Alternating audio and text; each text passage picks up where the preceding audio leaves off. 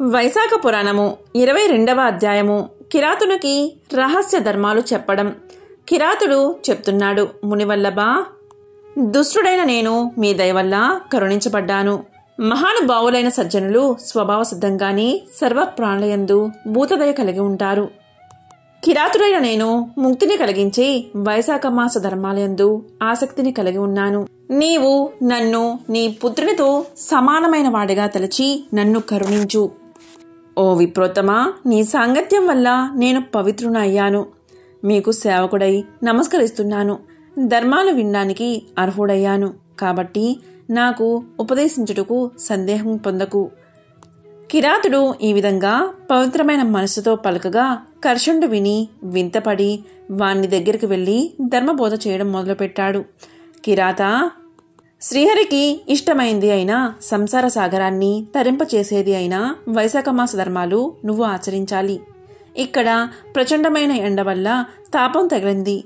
విశ్రమించడానికి నీడగాని తాగడానికి నీరు గాని లభించదు. కాబట్టి వేరొక ప్రదేశానికి వెళ్దాము. అక్కడ నీరు తాగి నీడలో కూర్చుని సేద తీరి నేను నీకు శ్రీహరి కథలను వినిపిస్తాను అని పలకగా ముని పలకలకు కిరాతుడు చేతులు జోడించి ఇలా అన్నాడు. బ్రాహ్మణోత్తమ ఇచ్చటికి సమీపంలో ఒక సరస్సు ఉంది. దానిలో శుద్ధమైన జలం ఉంది. ఆ సరస్సు దగ్గర ఫలాలతో ఉన్న వెలగ చెట్లు ఉన్నాయి. మనం అక్కడికి వెళ్దాము అని కిరాతుడు పలకగానే అతని మాటలు విని ముని కిరాతుడు కలిసి ఆ సరస్సు దగ్గరకు చేరుకున్నారు. కర్షణుడు ఆ సుందరమైన సరస్సులో స్నానం చేసి శుభ్రమైన వస్త్రాలు కట్టుకుని మధ్యాహ్నం చేయవలసిన కర్మలను ఆచరించి దేవతార్చన చేసి ఆకలితో ఉండడం వల్ల కిరాతుడు తెచ్చిన వెలగ పంటలు తిని ధర్మాసక్తుడైన కిరాతుడిని ఇలా ప్రశ్నించాడు. కిరాత నీకు శ్రవానందమగు ఏ ధర్మాన్ని ఉపదేశించాలి?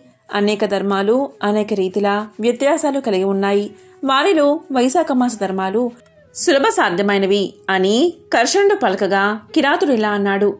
మహానుభావ అవివేకయుతమైన ఈ కిరాత జన్మ సంభవించడానికి కారణమేమిటి? మంచి బుద్ధి సజ్జన సాంగత్యం సంభవించడానికి కారణమేమిటి? దాని గురించి వివరించు అని కిరాతుడు పలకగా కర్షణుడు ఈ విధంగా చెప్పడం మొదలుపెట్టాడు.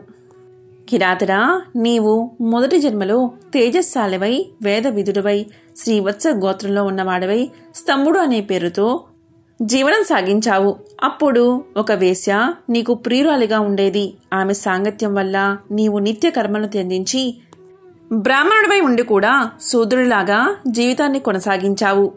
అటువంటి నీకు పుణ్యవంతి అయిన భార్య ఉండేది. ఆమె కర్మవశాన నీకు నువ్వు ప్రేమించిన వేసుకు పరిచర్యలు చేస్తూ నీ మీద ఉన్న ప్రేమ చేత మీ ఇద్దరి పాదాలను కడుగుతూ ఉండేది. ఈ విధంగా చాలా కాలం గడిచింది. ఒకరోజు సోదరుడులాగా గేదె పెరుగు ముల్లంగి దుంప నువ్వులతో కలిసిన అణుములు మొదలైన వాటిని తినడం వల్ల జీర్ణం కాక విరోచనాలు కలిగాయి నీకు. ఆ దోషం వల్ల మర్మస్థానమందు రోగం సంభవించి రాత్రి అందు చాలా బాధపడ్డావు. నీ గృహమందు ధనమున్నంత వరకు వేశ్య నీ వద్ద ఉండి ధనం అయిపోగానే వదిలి వెళ్ళిపోయింది.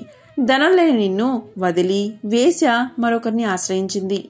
నీవు రోగంతో బాధపడుతూ మనస్థిమితం లేక విచారిస్తూ భార్యతో ఉన్నావు. అప్పుడు నువ్వు భార్యతో ఇలా అన్నావు. నా అందు కరుణ చూపము. సుందరి నీవు నాకు చేసిన పరిచర్యకు విశ్వాసం లేక పాపాత్పుణ్ణై ఉపకారాన్ని కోరుకుంటున్నాను. భక్తిగల భార్యను దూషించడానికి పాపాత్ముడుగు భర్త పద్దెనిమిది జన్మల పర్యంతం నపుంసరిగై పుడతాడు. సజ్జలచే సదా దూషించబడ్డాను. పాపాత్ముణ్ణై పతిరతగు నిన్ను పరాభవించాను అని భార్యతో పలకగా ఆమె ఇలా అంది. ప్రాణవల్లభ దీనమగు వాక్కులు మాట్లాడకూడదు. నా వల్ల సిగ్గుపడకూడదు. నాకు కోపం లేదు. పూర్వజన్మ కృత పాపాలే ఇహలోకమందలి దుఃఖాల్ని కలిగిస్తున్నాయి. నేను పూర్వజన్మ కృత పాప ఫలం అనుభవించడం వల్ల నాకు విచారం లేదు అని కాంతిమతి నీతో కలిసి ప్రవర్తించింది. ఆమె తండ్రిని బంధువులను ధనమడిగి తెచ్చి నిన్ను పోషిస్తూ నిన్నే నారాయణుడిగా తలుచుకుంది. రాత్రింబవళ్ళు నీ యొక్క మూత్ర పురీషములను తొలగించి గాయమందులు ఉన్న క్రిములను తీసి శుభ్రపరుస్తూ ఉంది. రాత్రింబవళ్ళు నీకు సేవ చేస్తూ ఉండేది. ఒకసారి ఆమె దేవతల్ని పితృదేవతల్ని తెలుసుకుని నా భర్త ఆరోగ్యానికై రక్తము మాంసము పెరుగు మొదలైన వాటితో కూడిన అన్నాన్ని దుర్గాదేవికి సమర్పిస్తాను. మహాత్ముడైన వినాయకుడికి కుడుములను నైవేద్యంగా పెడతాను. ప్రతి శనివారం ఉపవాసం ఉంటాను అని పలికి ఆమె ఆ విధంగా చేసింది. దాంతో వైద్యుడైన దేవల ముని ఆమె ఇంటికి వచ్చాడు. దాంతో ఆమె ముని పాదాలు కడిగి ఆ నీటిని తలపై చల్లుకుంది. తర్వాత కొంతకాలానికి నీవు ఆ జన్మలో మరణాన్ని పొందావు. నీ భార్య కూడా నీతో పాటు సతీ సాగనం చేసింది. ఆమె మంచితనం చేత ఆమె విష్ణు సాహిత్యాన్ని పొందింది. నీవు మరణ సమయంలో కూడా వేసెను తలుచుకోవడం వల్ల కిరాతుడై ఈ జన్మలో జన్మించావు. పాపనాశనమైన మునివల్లభుని పాద ప్రక్షాళన చేసే సమయంలో నీ భార్య తలపై వేసుకున్న నీళ్ళు నీపై పడ్డం వల్ల ఈ జన్మలో నీకు నాతో సాంగత్యం లభించింది. కిరాతుడా ఈ విధంగా నీవు పూర్వజన్మలో చేసిన పాపం కానీ పుణ్యం కానీ నా దివ్య దృష్టితో చూసి నీ పూర్వజన్మ వృత్తాంతానంతా చెప్పాను. రహస్యమైన ఈ విషయాన్ని నీకు తెలియజేశాను. దీంతో నీ మనస్సు పవిత్రమైంది అనుకుంటున్నాను. నీకు శుభం కలుగుతుంది.